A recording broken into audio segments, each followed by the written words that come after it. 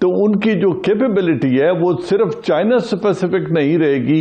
Overall अगर उनकी armed forces में और particularly missile force and air force में स्ट्राइक कैपेबिलिटी बढ़ती है तो ये पाकिस्तान के लिए लम्हाए फिक्रिया है। हिंदुस्तान अफ़गानिस्तान में क्या करना चाहेगा और पाकिस्तान की काउंटर स्ट्रेटेजी क्या होनी चाहिए? पे जो रॉ सीआईए और एन एनडीएस एनडीएस मैं स्टेटस को पार के तौर पे शामिल कर रहा हूँ। चाइना मुसलमानों का क्या हाल कर रहा है? किस तरह से आ, उनको मा, मारा पीटा जा रहा है? उनके उनको नाम मोहम्मद नहीं रखने दिया जा रहा। मज़े की बात यह है कि इसका सबसे बड़ा बेनिफिशियरी अमंग हमारे जो इस एरिया में वो भारत है।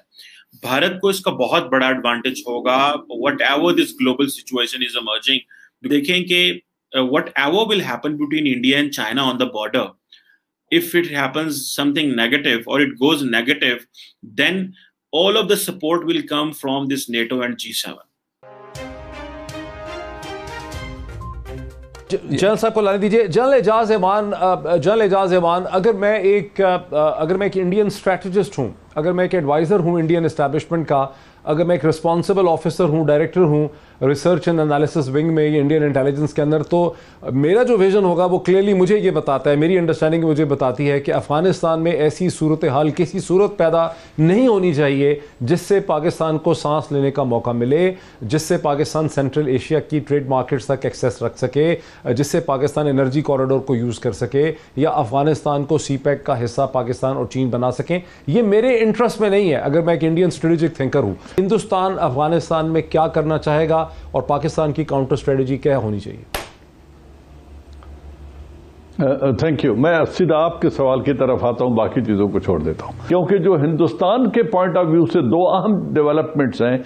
एक ये जो आपने की है और दूसरी जो इस वक्त चाइना के साथ उनके ताल्लुकात हैं और जिस तरीके से अमेरिका के स्ट्रेटजिक इंटरेस्ट में चाइना इस रीजन में फिट बैठता है जो कमकासा और बेका के ट्रीटमेंट को अगर एक्चुअलाइज करना है, और ये बेचना है, ये नुस्खा हिंदुस्तान को तो हिंदुस्तान उसकी कीमत उनसे पूरी लेगा। और वो कैसे? इस वक्त हिंदुस्तान को खतरा है टू फ्रंट वार का, जो वो बेचेंगे चाइना को जो अमेरिका को। अब चाइना के साथ उनके ताल्लुकात अभी भी ठीक नहीं है। उसको बेचते हुए वो अमेरिका से कहेंगे कि हमें टू फ्रंट वार का खतरा है। पाकिस्तान, अफ़गानिस्तान से बिल्कुल फारिग होता है तो फिर हमारे लिए ये खतरा और बढ़ जाता है। दूसरा, वो चाइना के अगर बढ़ती हुई इकोनॉमिक इन्फ्लुएंस को अमेरिका रोकने में सीरियस है। ये इंडियन कहेंगे उनको कि अगर आप सीरियस हैं तो फिर इसको यूरेशिया तक और सेंट्रल एशिया तक की एक्सेस को रोकने का एक ही तरीका है कि अफ़गानिस्तान डिस्टेबलाइज रहे। अब अफ़गानिस्तान में वो री करके फोर्सेस को कोई नतीजा या जमीनी हकायक को तो नहीं बदल सकता America. It's a writing on the wall लेकिन मुझे डर है कि इसमें तोसी के इम्कान हैं जो बाइडन के आने से। और यहाँ पे जो रॉ सीआईए और एन एनडीएस एनडीएस मैं स्टेटस को पार के तौर पे शामिल कर रहा हूँ। ये जो डिफेंस का इतना क्लोज रिलेशनशिप अमेरिका और चीन के खौफ की वजह से डेवलप हो रहा है, चीन के खिलाफ तो यूज़ होगा नहीं होगा। आपकी मिलिट्री और जीएचक्यू की क्या थिंकिंग होनी चाहिए इस मौके पे? जब इतनी सोफेस्टिकेटेड टेक्नोलॉजी शेयरिंग का चांस बढ़ता चला जा रहा है तो पाकिस्तान की क्या ऑप्शंस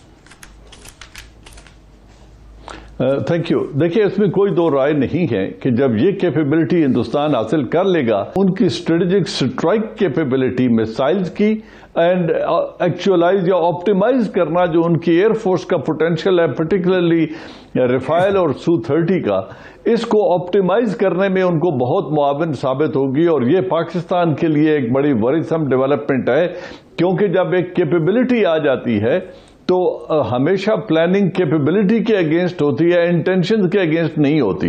इंटेंशन ओवरनाइट चेंज हो सकती हैं। तो उनकी जो कैपेबिलिटी है, वो सिर्फ़ चाइना स्पेसिफिक नहीं रहेगी। ओवरऑल अगर उनकी आर्म्ड फोर्सेस में और particularly missile force and air force में स्ट्राइक कैपेबिलिटी बढ़ती है तो ये पाकिस्तान के लिए लम्हा फिक्रिया है। और पाकिस्तान इसको न सिर्फ़ देखेगा इसको एनालाइज करेगा और इसके काउंटर के तौर पे उसको जहाँ कहीं से कोई टेक्नोलॉजी मिल सकती है यकीनन वो चाइना की तरफ़ देखते हुए वो इसका हल ढूंढेंगे। अब चूँकि इस एरिया में उनके स्ट्रेटेजिक इंटरेस्ट को इंसाइड कर रहे हैं हिंदुस्तान के साथ और हमारा स्ट्रेटेजिक इंटरेस्ट को इंसाइड करता है चाइना के साथ तो अब ये दोनों जो राइवल पार्स हैं इकोनॉमिक पार्स हैं but militarily they are very well equipped both of them तो और हम भी न्यूक्लियर पार है इंडिया भी एक न्यूक्लियर पार है तो इसको बैलेंस करते हुए हमें भी अपनी कैपेबिलिटी को यकीनन एनहेंस करना पड़ेगा। इस किस्म की सोफेस्टिकेटेड एंड वॉर कैपेबिलिटी या टेक्नोलॉजी जो है इन वो अमेरिका के पास है वो अगर किसी के पास है वो तो सर वेस्टर्न यूरोप के पास है वो फिर जर्मन्स के पास है या फ्रेंच के पास है या उससे मिलती जुलती कोई शायद इंग्लिश के पास है किसी और के पास है नहीं या फिर रशियंस के पास है तो पाकिस्तान कैसे इसको मैनेज करेगा? लेकिन साथ ही साथ हम देखते हैं जो चाइनीज़ मुस्लिम हैं जो रीगर मुस्लिम हैं उनके बारे में कोई बात पाकिस्तान तो कम से कम नहीं करता और अगर करी भी जाए, अगर किसी और जगह का इंटरनेशनल मीडिया अगर इमरान खान साहब या उनके किसी मंत्री को या किसी मिनिस्टर को फॉरेन मिनिस्टर या किसी से अगर ये बात पूछ ली जाए तो वो कहते हैं, पहले तो वो कहते हैं, हमें कुछ पता ही नहीं है। इतने मासूम हमारे पॉलिटिशियंस हैं कि उनको यही नहीं पता कि चाइना मुसलमानों का क्या हाल कर रहा है? किस तरह से आ, उनको मा, मारा पीटा जा रहा है? उनके उनको नाम मोहम्मद नहीं रखने दिया जा रहा उनकी मस्जिदों को तोड़ा जा रहा है? और आ, क्या क्या जुल्म जो है वो चाइनीज़ मुस्लिम्स पे किए जा रहे हैं? लेकिन हमारे जो खान साहब हैं वो आपको मालूम है कि उनका वहाँ तक जो है, उनका रिडार काम ही नहीं करता और वो सिर्फ़ हंड्रेड के रिडार में घूमते रहते हैं और ज़्यादा से ज़्यादा भी उनको फलस्तीन का पता है या उनको ये मालूम है कि कश्मीर में बड़ा जुल्म हो रहा है, लेकिन उनको ये बिल्कुल भी नहीं पता लग रहा कि चाइना में क्या हो रहा है। लेकिन अगर कोई इनसे बात कर ले, अगर कोई सी एन एन बीबीसी या कोई और इंटरनेशनल मीडिया आके पूछ ले कि जी आखिर आप चाइनी चाइना में जो मुसलमानों के साथ सलूक हो रहा है जो जुल्म हो रहा है उन्हें मारा पीटा जा रहा है उनकी नस्ल नस्ल को खत्म किया जा रहा है उसके ऊपर आप बात क्यों नहीं करते? तो उसके जवाब में खान साहब कहते हैं कि जी बिल्कुल हम बात करते हैं लेकिन हम उनसे आ, अंदर दूसरे कमरे में जाके बात करते हैं। जो बाइडेन के आने के बाद आपने देखा कि क्या हुआ कि उन्होंने कहा जी डिप्लोमेसी इज़ बैक बाइडेन कह रहे हैं we are back on the table लेकिन सबसे बड़ा प्रॉब्लम तो चाइना के लिए मर्ज हो रहा है और इसको देखने की बहुत ज़्यादा शदीद ज़रूरत है। इससे पहले कि मैं ये बताऊँ कि ये तो ये कह रहे हैं, यूरोप ने ये कहा है कि जी सेवन ने भी कहा है कि जो चाइना है वो सबसे बड़ा सिक्योरिटी चैलेंज है, सबसे बड़ा सिक्योरिटी थ्रेट है सिस्टमिक चैलेंज की बात कर रहे हैं। और मज़े की बात यह है कि इसका सबसे बड़ा बेनिफिशियरी अमंग हमारे जो इस एरिया में वो भारत है। भारत को इसका बहुत बड़ा एडवांटेज होगा। Whatever this global situation is emerging because China is just on the border China and India का बॉर्डर आपस में इश्यूज़ हैं। तो वो जो एक ग्लोबल आउटरीच या ग्लोबल एक एनवायरमेंट चाइना के बारे में बनेगा, उसको ऑब्वियसली इंडिया को बहुत बड़ा फ़ायदा है। लेकिन इंडिया जो है वो is one of the beneficiary of this entire apparatus of this entire talk वो इस तरह के, आप देखें कि whatever will happen between India and China on the border if it happens something negative or it goes negative, then all of the support will come from this NATO and G7. So India के पास ये unique position है कि वो France के साथ अलहदा deal engage हो रहा है। अमेरिका के साथ क्वाड में अलहदा डील हो रहा है।